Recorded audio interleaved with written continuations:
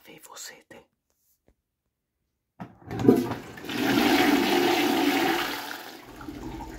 Ho sentito un rumore strano in garage.